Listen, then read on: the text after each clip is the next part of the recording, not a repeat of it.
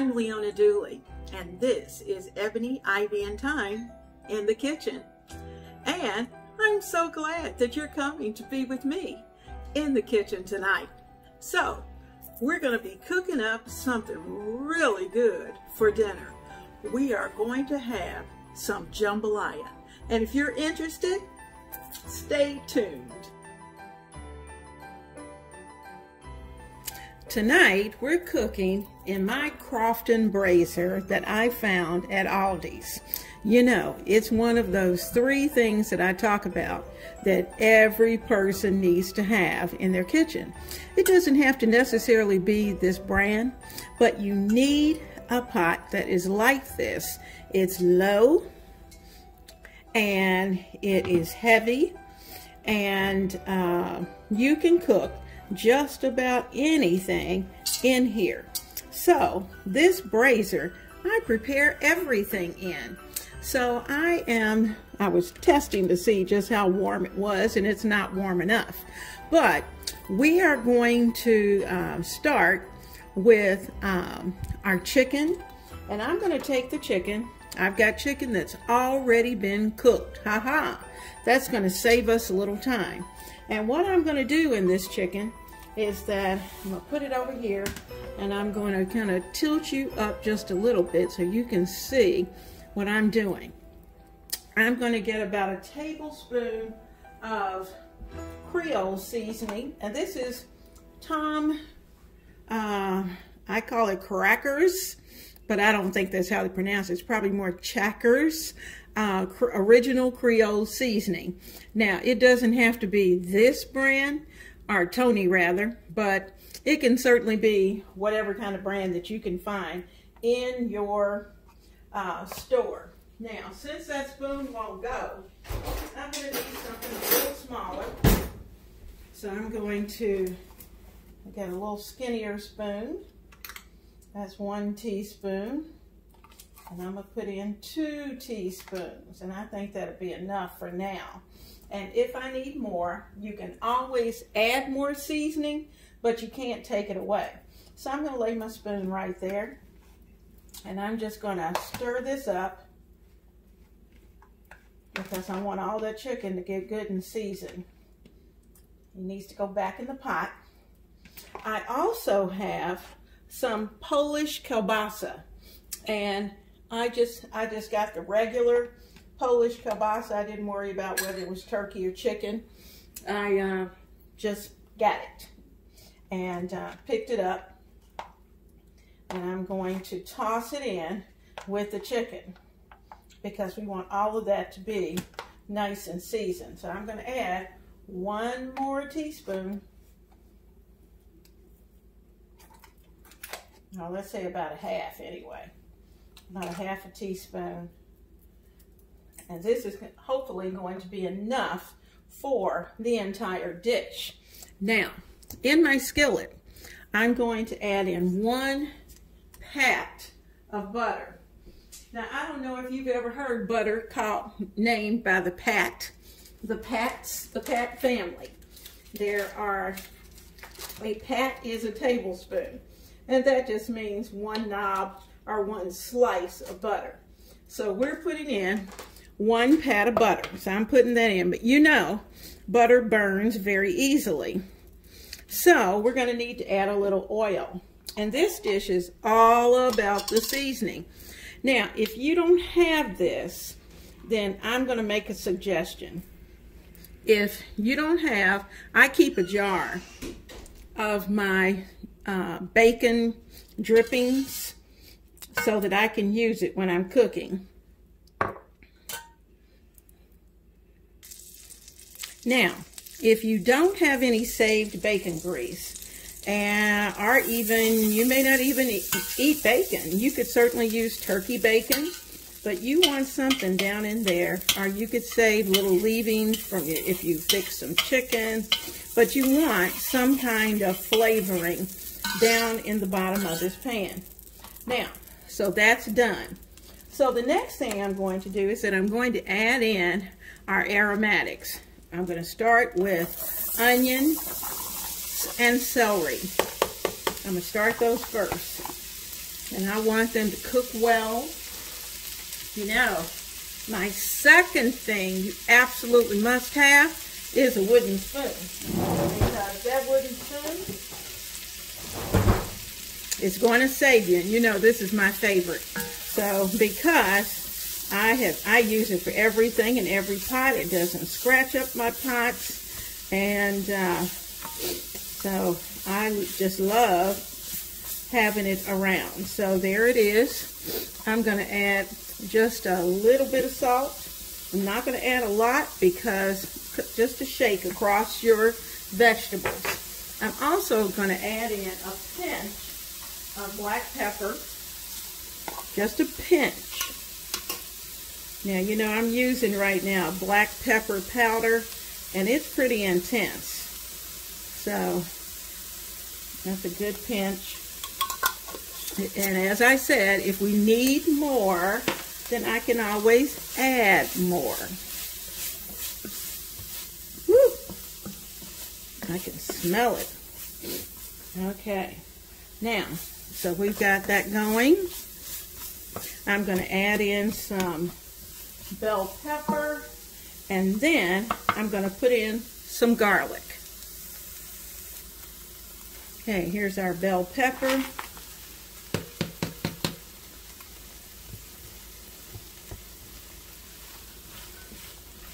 And I want all of that to saute. Now I'm cooking this about an hour and a half before dinner. You could certainly put all of this, um, you could do it the night before, and while you're preparing one meal, have this on the other burner so you can put it all together. Have it in your refrigerator overnight and when you come in from work oh my goodness it's going to be far better than what it's going to be tonight because all of those flavorings are going to have have a chance to go through and just flavor up this dish now I'm getting ready to put in some garlic and this is about four to five cloves of garlic that has been minced all right so they're in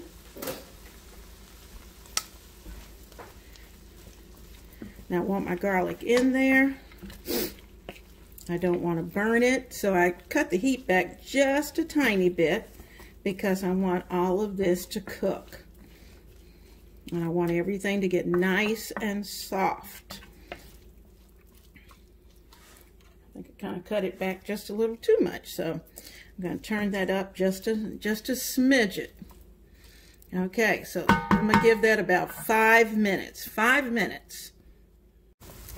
All right, in the center of this pot, I'm going to add in our meat. All the meat. That's the chicken, the sausage.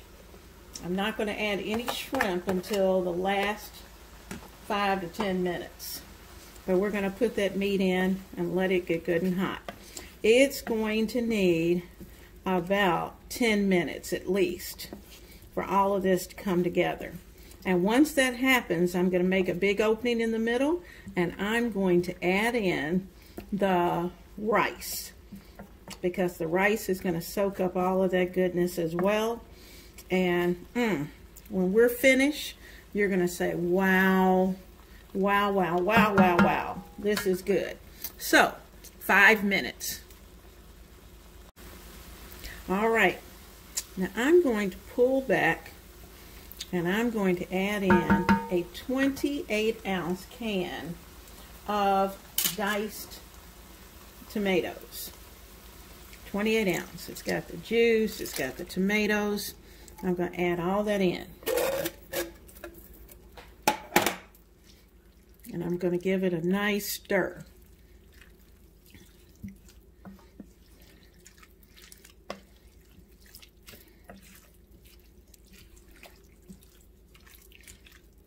Now, you're going to start to see that in the center, you're going to have an accumulation of juices. Can you see that down in the middle? Now, what I'm going to do down there is that I'm going to add in one cup of rice, and I'm using brown rice. So I'm putting in a cup of brown rice, I'm going to let that stay right there and let it start to soak up that goodness right there.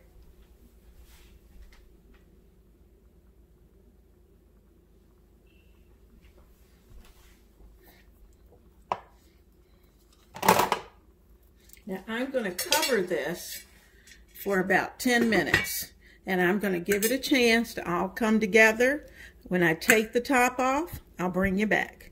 10 minutes. Okay guys, here we are in 10 minutes. Now I'm going to take my wooden spoon and I'm going to run it across the bottom of this pan so that I can make sure that absolutely nothing is sticking. And you can see the rice, the meat, the tomatoes. They're all in there. Now, I even have okra, and I'm not a big okra fan, but my hubby loves okra. And I'm going to be putting some okra in, and I'm using frozen because at this time of the year, okra is not going to be good because, let's face it, it's a summer vegetable. Now, I'm letting this cook and uh, at this point, I'm going to sprinkle in some okra. Got the bag of frozen okra. That's going to be good. I'm going to put that in. Now, do you have to have okra? No.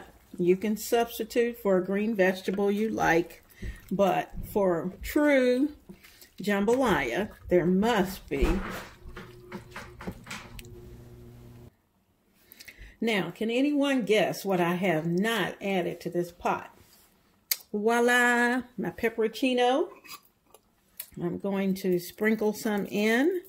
And in fact, I'm going to put in about five dashes of hot sauce. Now, I'm using Frank's Red Hot. So I'm going to do one, two, three, four, five. That's it. Now, if you have little ones that are going to be eating this and they're not quite used to spicy food, you can certainly uh, cut back on the spice. Now, I'm going to give this a really good stir.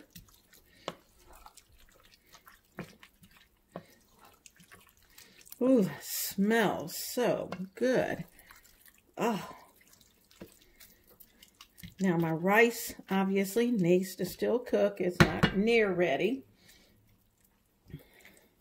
And I'm going to give it about 20 minutes to just simmer. I'm going to turn it down just a little bit. And I'm going to give it a good 20 minutes to simmer. When At the end of the 20 minutes, I'm going to lay the shrimp on top and cover it again. Okay? 20 minutes. All right, it's time to see what's going on in this pot. We're going to take the top off. Ooh, Look at that. I'm going to give it a little stir here. Oh, I wish you could be here and smell it. The whole house smells wonderful. smells like dinner. Mm. Now the rice still isn't quite ready. It needs time. But it is time to sprinkle in my shrimp. And I'm going to put that across the top. I'm just going to kind of spread them out and kind of push them down into the liquid. My raw shrimp. They need time to cook. And they're going to get happy down there in the in the broth from the jambalaya. I'm pushing them down in. Just taking my spoon and giving them a little shove. I don't want to break them up, but I do want them down in the liquid.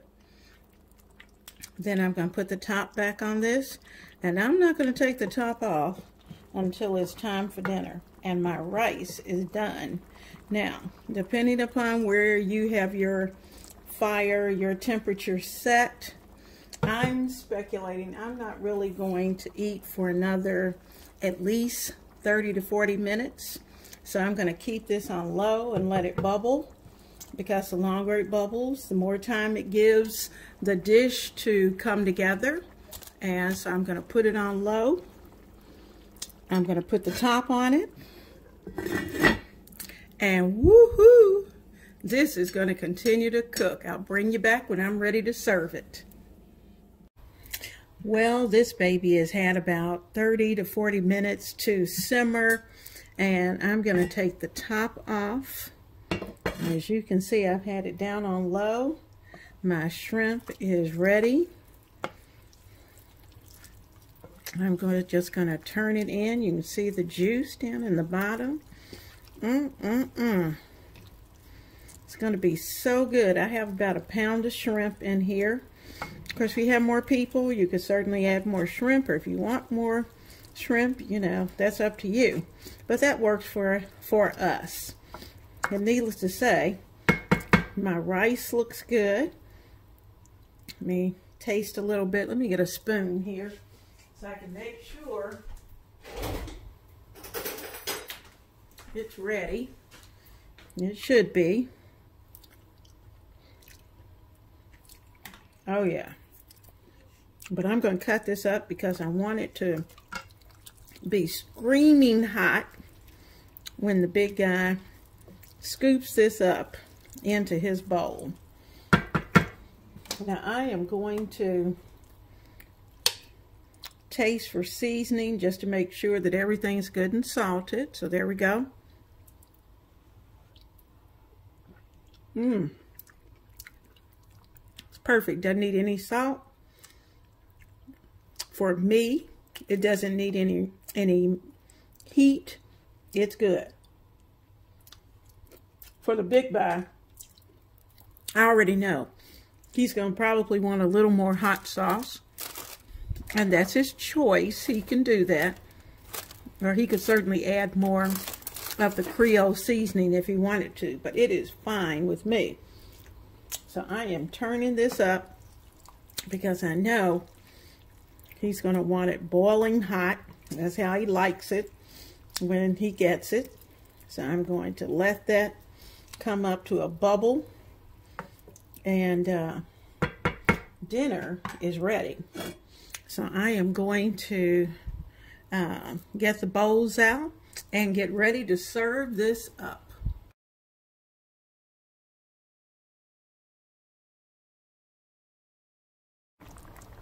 Well, you see it's nice and bubbly. That is going to be so good.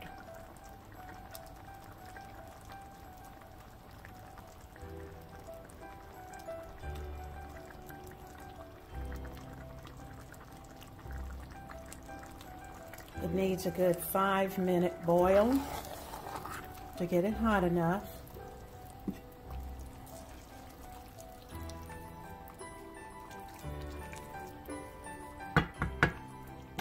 and dinner is served.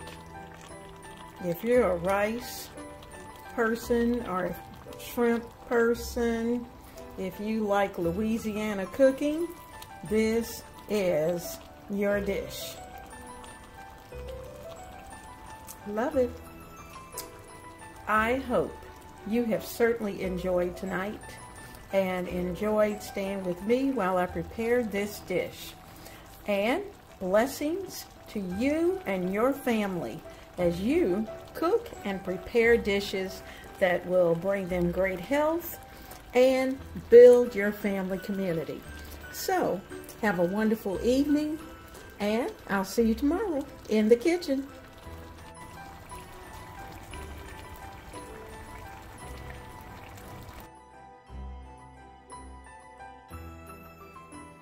Yummy. Dinner is served.